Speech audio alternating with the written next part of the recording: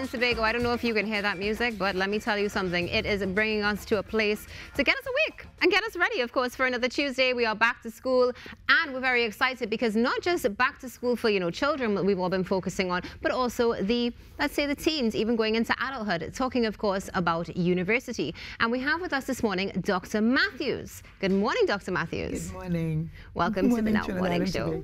Very excited because you're having a History Fest. So what exactly is History Fest? Right, so History Fest is um, one of the major annual outreach programs of the Department of History of the University of the West Indies, St. Augustine campus. It is an attempt to engage the wider um, public of Trinidad and Tobago into history. We don't want to keep it only in the halls of the University of the West Indies, but throughout the nation as well as the region. And when did History Fest begin?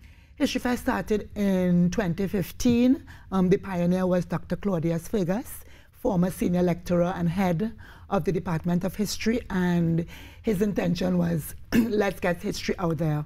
It, we don't want to keep it on the campus only. Yeah. One of the things we were talking about off air, I asked, you know, is whether or not it's available to those who are not part of the student body. Definitely, as a matter of fact, because it's one of our outreach programs, we try to invite as many people as possible to participate. And it's very easy to register. You just go on YouTube because we have it advertised there. And we have also used TikTok because we know our young people are engaged in that kind of social media.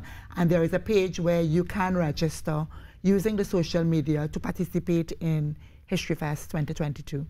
Mm-hmm. Now, Dr. Matthews, I was just wondering about some of the themes that might be covered in this year's History Fest. Right. So the major theme this year, because we are commemorating or will be commemorating 60 years as an independent nation, we are looking at our journey to independence, trying to trace the period before the movement towards independence, during independence, and after independence. Now, Dr. Matthews, you said it was an outreach initiative. So is it virtual or physical? Well, this year and as well as last year, 2021, because of COVID-19 and the restrictions that that has imposed, we are having it virtual. But in the past, we have had it face-to-face. But definitely this year, all of the activities will be taking place via Zoom. So it's mm. virtual. Sounds interesting. Well, in in your experience, you said it's been happening since 2015. Yes. So far, what impacts have you seen on the youth from these festivals? Definitely, we have been able to engage our young people, um, especially through our competitions like essay writing competition.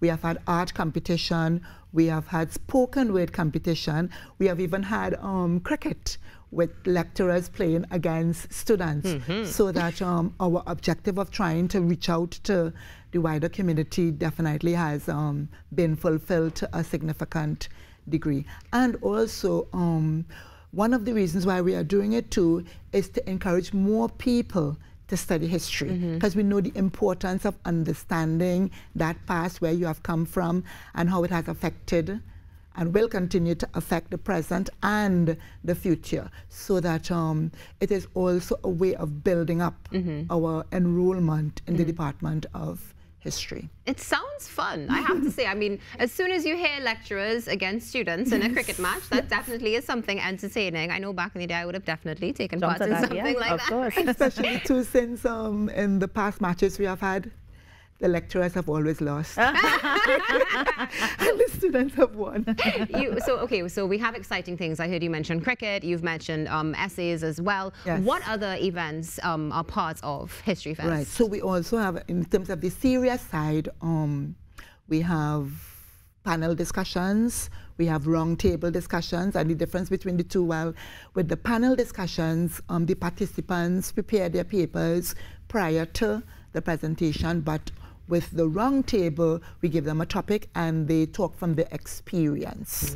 So that for this particular um, chapter of History Fest 2022, we have, we'll be having people like um, Ferdinand Ferreira, who was one of the pioneer founders of the People's National Movement, and he will be talking about his experience with Dr. Eric Williams. And so we'll be having those two in particular. And then another thing we have done this year is we have reached out to the aged community, especially those who were alive in 1962 and can recall their memories. And we have interviewed them and we'll be sharing those Tuesday, sorry, Wednesday, Thursday, and Friday of this week. Yes, I was just about to ask uh, Dr. Matthews when this is going to happen, you know, where it's going to take place, of course. Is there a Zoom link that we can look forward to and that sort of thing? Yes, so it's going to take place Wednesday, Thursday, and Friday of this week, April 20th, 21st, and 22nd. And as I mentioned previously, the Zoom link and the um, opportunity to register will be available on YouTube, is available already on YouTube. People have been commenting as well as on TikTok, as I mentioned. Nice. Now, yeah. what has the response been thus far? pretty encouraging, especially with um, TikTok. We have had some comment, uh, commentators talking about that it is a wonderful initiative, that they are glad to see that we are not just being academics in our ivory towers, but that we are reaching out. So the response so far has been quite encouraging. And Dr. Matthews, of course, I mean, you mentioned the cricket match and that kind of thing. Are we going to be seeing a return of this next year, maybe, like a physical mm. history fest? Hopefully. Actually, we are looking forward to the time when we would not be confined to a virtual space and that we'll be able to meet face to face and if that happens, we will have the return of the cricket. and by that time, we hope that you know, our electors would be able to bat and bowl a little better so that we could win. Uh, and we do have a trophy at stake as well. Ah, nice. Yes. And um, this year, too, we have had to curtail the um, spoken word competition, which was a big highlight. But um, we are hoping that once we return to the face-to-face -face environment, that we'll be able to have those other activities and perhaps more. I, am I'm, I'm listening to you and I'm hearing this practicing on this cricket and I feel like, you know what, you could just be biding your time a little bit. yes, you're kind of glad for the two year little break so that um, we can, you know, improve our skills. Uh, Dr. Matthews, just to jump, well, we're still talking about History Fest, but in mm -hmm. a mm-hmm. different context. Were, was the faculty able to host History Fest virtually? Prior to this or well, fully no. virtually? I think it was just because of the pandemic we yeah. were forced into yeah. um, pursuing it in that direction. Um, but we have had a bigger reach as a result of going um, virtual. But prior to that time, we had it on the campus. Mm -hmm. in different halls and but we did have good student responses sometimes like um, certain events, 600 students would come out. Oh, wow. Right? In the past, we have also had um, the First Peoples community mm -hmm. on the campus sharing at the Alma Jordan Library, as well as the Baptist community. Mm -hmm. Another time when our theme was on the Presbyterians, they too were invited and did come onto the campus and share the history of the Presbyterian Church in Trinidad and Tobago. Now, Dr. Matthews, aside from History Fest, I'm just wondering, as a lecturer in, in, the History Department, we're celebrating 60 years. I mean, how does that feel? I mean, what is the energy in the History Department right now? Well, it's positive. It's positive in terms of looking back at what we have achieved, but we also have to be realists and consider the challenges that we have faced as a nation in terms of taking care of our own affairs. I mean, we cannot ignore um, the coup of 1990, um, black power as well, um, racial tensions in the country, and the attempts of um, our leaders to try to merge and to bring those things together. I mean, we have done well as a nation, but there have also been some difficulties along the way, but we are still moving forward in terms of building ourselves as a nation. So aware both of the positive and of the negative in building this beautiful Twin Island Republic of Trinidad and of Tobago. Course, yeah. I'm, I'm, just going to jump a little bit off what Kimberly asked there, specifically being a lecturer, um, being, of course, in the faculty as well. You know, one of the things, as you mentioned, Black Power and, of course, the coup and all these different things is the fact that many times we look towards our universities, our educational institutions to bring forth tomorrow's leaders to be the, you know, the movers and shakers of the next generation. Where you sit now, um, interacting with students every day, do you see that energy coming out of the student body? Yes, to a significant extent. We do have, for example, within the history department, a history society, mm -hmm. which is run entirely by students and they take the initiative in discussing hard questions that mm -hmm. face our country from time to time. So there is some activism there.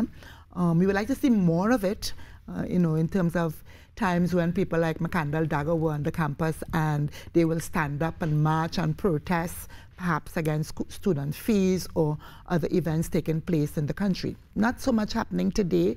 Our students are a little bit more concerned about getting that degree in their hand, but um, in, in courses such as West Indian history, we do see students becoming animated mm -hmm. in discussions about things like the movement towards independence or even things like the 1930s labor movements with Uriah Buzz Butler and so mm on, where you know, they had activism and people fighting for their rights in the country. But we would like to see more of that. And we hope that as lecturers, we can pull that out of our students. I think you're definitely going to see it coming out of your students, and I think the public as well. I have to tell you, Kimberly, I'm sure you're interested too, right? Listen, it looks very, very, yeah. very interesting. I mean, um, Dr. Matthews, says here one more time where we can go to get more information about History Fest. Right. So we do have a um, web page that mm -hmm. is the History Department and it is online. So you just type in um, University of the West Indies History Department, and that could bring up a lot of information on History Fest and history in general. But as I said, it's on YouTube and it's on TikTok. Nice. I will. I'm definitely going to be looking for it. I'm really mm-hmm. interested, and I know a lot of other people will be interested as well. Dr. Matthews, on behalf of TTT, the Now Morning Show, Kimberly, Raucus, myself, thank you so much for taking the time out of your morning to come and be with us and tell us a little bit about History Fest, just enough to know that we're going to want to be there. And I appreciate the invitation. Thank you very much for hosting us. And we do look forward to as many of you in the public joining us for History Fest 2022 as we traverse the journey to independence. Ooh, listen to that rap. Trinidad and Tobago, this is the Now Morning Show. We just heard from Dr. Matthews, a lecturer from the History Department at the University of the West Indies. Please stay tuned. There's more coming up after this break.